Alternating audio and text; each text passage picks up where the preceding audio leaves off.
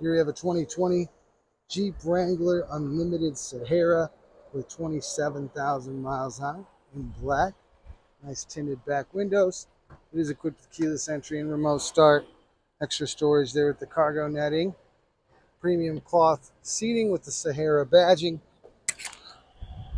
This vehicle does have, uh, it is a push start engine, sorry. It does have navigation, rear backup camera, controls for heated steering wheel and heated front seats.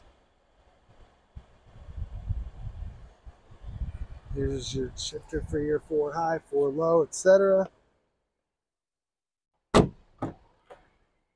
So in the back here, obviously it does have second row, but they are pushed down now because the soft top is in here.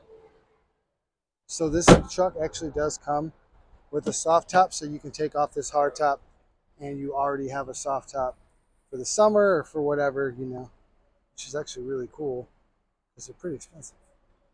So it does have second row passenger seating.